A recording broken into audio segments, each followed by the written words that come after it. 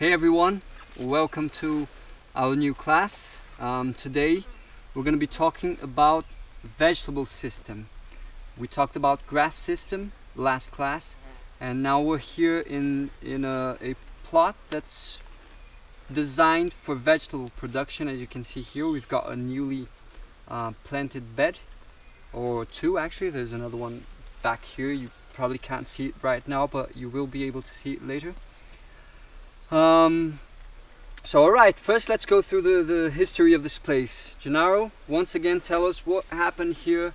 Um, what is this that's planted? Well, what's the distance between the tree rows? Which species Alright. have we got? Um, Okay, uh, well basically yeah, so in this agroforestry system we, we follow on from the grass system that we had just above there where we have the same six meters between one tree bed to the next great. and we have the three beds here. This time it's a vegetable bed, Okay. right? We've, we've planted vegetable here. This is the third time round.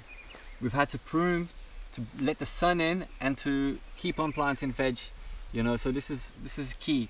We can keep on planting veg as long as we're pruning, we're being radical with the pruning to let the sun in. Uh, we're delaying the trees, but uh, you know, they're patient. They can wait a little bit. You know, there will be a point where I'll have to make a decision whether I'll allow these trees to come now and then, you know, I'll have to start working with veg that accept shadows, a little bit of shade, or, or move into the grass systems here, right? Uh, here we've done a simple consortium. You know, we really like the idea of companion planting. This is, this is like the fundamental, isn't it? So in this case, we've got the basil. We've got a line of basil. Uh, we've got the lettuce between Okras. okras. Very interesting. I haven't yet seen okras in, in London and in Europe and that, but I'm sure there is in them fancy restaurants. Here in Brazil, we, we like it a lot. Uh, behind us, we have a system where we have aubergine, you know, eggplant, and we have leek. And look how interesting. Here we're using elephant grass with our veg system. So as you can see, we've opened a little window here. Uh, we've actually gone ahead and cut the grass to feed the vegetable bed. Um, you know, there's so much benefit in this in this practice. You know, as we're feeding it, we're stopping uh, next weeds from coming in and, and competing. Uh, we're, we're feeding it, we're, we're giving it shade to the soil. We've got to have a module talking about, uh, you know, covering the soil. So this is a real practical way of covering the soil. We're sending all sorts of information. Felipe will talk about this, the kind of information that this grass is giving to the vegetable bed. Yeah, that's pretty great. Um, so if you're wondering, right, so but why plant trees if I just want to harvest vegetable? You know, it's just an extra work for me. I'm gonna have to keep pruning them forever and when I just want to have vegetables. Well, it turns out that trees are highly beneficial to vegetables. It comes back to that idea of the clearing in the forest. Okay, um, when you when you have trees in your system, you have live root system underneath the soil, and that's what you want all the time. Because what keeps the soil alive are the microorganisms, and they depend on plants to feed them, and plants depend on them to feed themselves back. So it's a, a very um, long dated symbiosis that happens between microorganisms and trees. And this benefits all the other plants because many of these um, vegetables, they are very, very sensitive plants and they, they demand a very, very rich nutrient soil and also a very rich soil in, reg- in regards to, to biology. So we need um, we need microorganisms, and that's what plants are doing. And every time you prune them, they're going to release food to the microorganisms. They, they, they're going to pump the soil, and not only the, the roots, but also all the organic matter that we, we, we bring down. Um, you can see that everything's pruned. So um, coming back to the trees, tell us a bit, a bit about the, the, the species we have here in the tree rows. Yeah, uh, we have here as a main crop the avocado. So I really like the legacy to be avocado. You know, we really want to move into like avocado oils and all sorts of interesting products that we we we're looking forward to. Uh, the avocados, however, they might take uh, four or five years. You know, we've planted them from seed and we're having excellent results here. This is really one of the best terrains in Brazil for avocados. So you will be seeing them pop up everywhere. However, in the shorter term, we've seen a lot of moringas. The moringas have shot up, they've come up straight, you know, we're selling it at the market. You know, the moringa has got high protein, we, we, we're feeding the cows, right? And the stimulation the moringa is giving, you know, that growth stimulation, because as it's growing, everything is trying to play catch up with him. Yeah, it's really amazing because we have moringa trees here that are probably five meters tall. You're gonna see them, um, and it's been one year. It's right? been one year. This was planted uh, a year ago. We have the eucalyptus. We use the eucalyptus a lot for, for pruning and uh, giving back to the soil and the bananas. I've actually open open hand. I mean, what I'm saying is I've actually I've opted not to harvest banana fruit here and trim it and feed the soil before I've even harvested the fruit. Yeah. Uh, Sure. It's it's giving me so much benefit. You know, all that water we've just come through the drought. We're at the end of the drought. You know, chopping up the banana and feeding the soil has been so beneficial that really, economically, it's paid more. You know, the Than banana. fruit.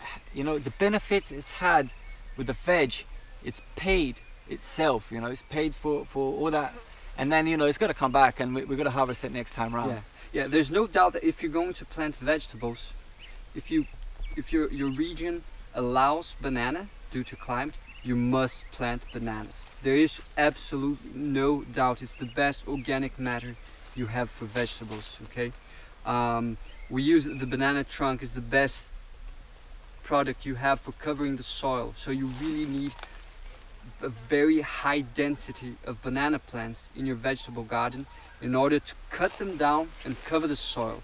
That's one of the one of the biggest findings that that we've had, and um, it's it's really worth it. There's there's no question to that. It's been proven over and over in various places. Yeah, Um, the, the bananas, I mean, we, we, we have the tradition of planting it every three meters, you know. But now, you know, we, we want to do experiments, we were planting it every meter, you know, just so we so we can have it every three meters to harvest, maybe, and the ones in between to, To to, cut down to cut down and, and feed the system. yeah.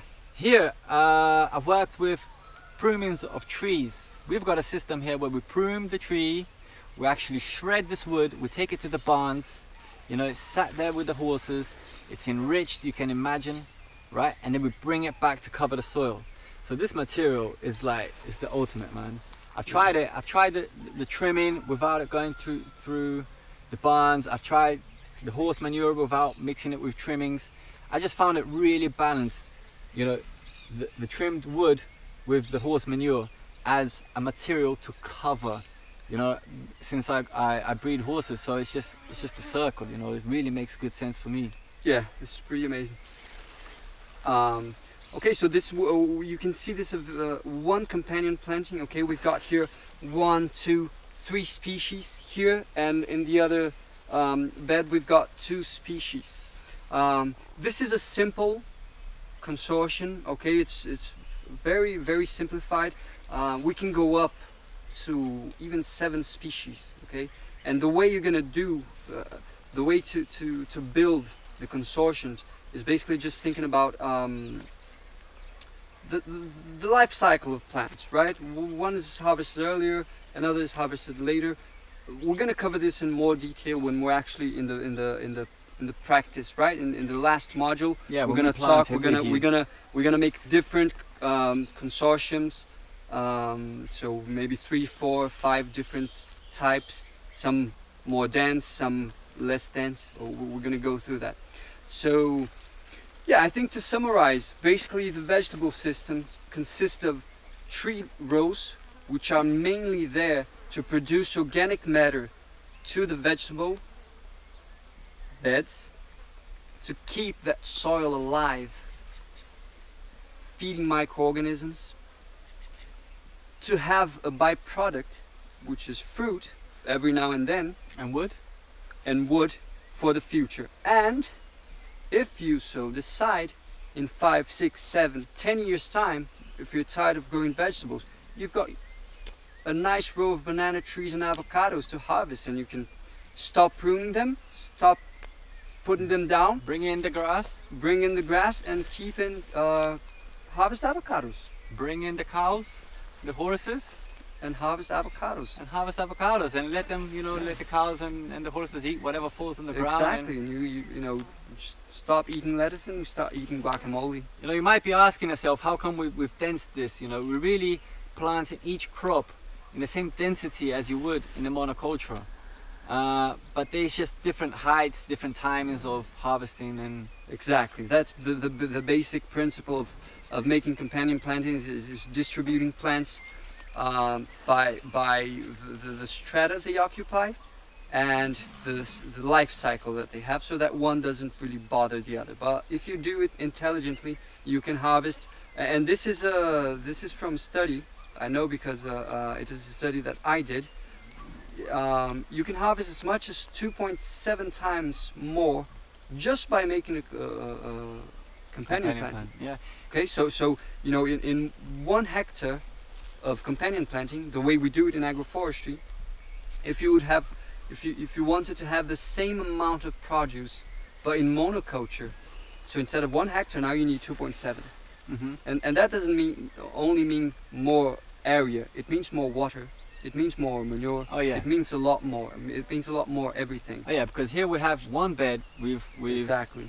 we've brought the manure in once. We've irrigated it once, but we, we're tripling the the crops. Exactly. Uh, and also, you got some guarantees. You know, we work with organic. You know, it can happen where, where with all this organic matter, it's very difficult for, for bugs to come in and, and really bother the plants. They'll come in and they'll trim the, the, the matter that's on the soil uh, primarily.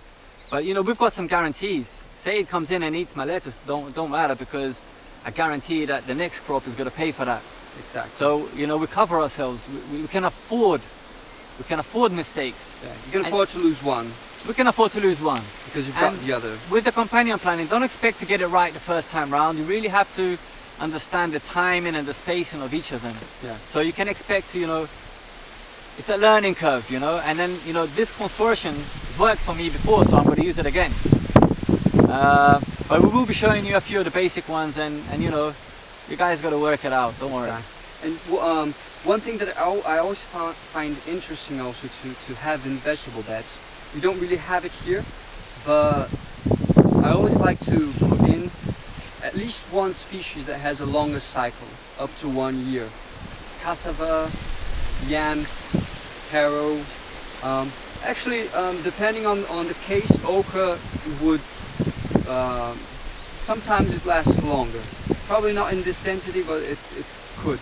Um, Yeah, the reason for this is that doing vegetables over vegetables over vegetables, uh, uh, short cycle vegetables, I mean up to three months, if you're just doing them over and over and over in the same place, um, it really demands a, a, a massive input of organic matter and a massive input Manpower. of, of manpower and massive input of, of you know messing a bit with the soil, massive input of manure. So if you have cassava or, or yams or taro or, or, or You know, I um, love the sweet turmeric um, or, or ginger or whatever, you can put them in the system and, and they're gonna they're gonna be harvested after your short cycle vegetables. So it, it's it's and, and they're a lot less demanding. So it's gonna be like um, almost like like fallow. You know, it's gonna be fallow for, for, for the for the place. It's gonna rest from vegetables. So that's a very interesting practice. Mhm. I, I love I love the sweet potatoes and the taros. You know, I always I, I like to have a root. You know, to have that that information that working in the soil. You know, that that kind of uh, potatoes and things like that. Something that's going to be working underneath as well, bringing all that fungus underneath and all that life under the soil. I love that as well. Exactly. And the sweet Sure. potato, the way it spreads and it gives that cover, it, you know, it gives it the shade. And you know, the next crop coming up and occupying that, that next height. So you know, so it's really, we're going to be showing a few, a few different options for that. For sure. Yeah, so I think that's it. Um, so that's the, the, the very basics. Uh, mind you, this this design, this um, the amount of beds in between the tree rows, the distance between the tree rows. This is all variable. It's like you said, it's what Gennaro chose for this place. But we might as well do it for the tree rows four meters apart and only two beds. It really depends. I have examples. Um, I have examples in next areas where, where it's like that. We have uh, every four meters the trees, and that, that means we only it only fits two beds of vegetable, right? So what, what's the relation? Here we've got three, so it means it's more spaced. It means more light. It means we can use it for veg for longer. So if you have your trees spaced out longer, it means you have more light. You have light coming in for a longer time. You can make veg more often Yeah, without without pruning. without pruning. Without pruning. And if you want more forest and less veg, you know, you do your two your two beds of veg, you know, once, twice, and then that's it. And then if you you know if you've got the, the trees closer by, it's gonna close up, and you're gonna have to move on. You're gonna have to move on with crops, and then you come in with coffee and cacao. Next next crops in the middle that you can come in. That's gonna support the. Uh, it's gonna live happily in the shadow, you know, uh, in the lower stratifications from the trees. Yeah. So that's pretty much it. Um, let's wrap it up now. From the Thank you for watching. Yeah, from the Academy crew. Academy. Um, I hope you enjoyed it, and I hope we have made ourselves clear about the vegetable system. Let's talk Um, about it in the webinar. Let's talk about it in the webinar. Thank you all for watching, and Till next time. cheers. Godspeed. Round.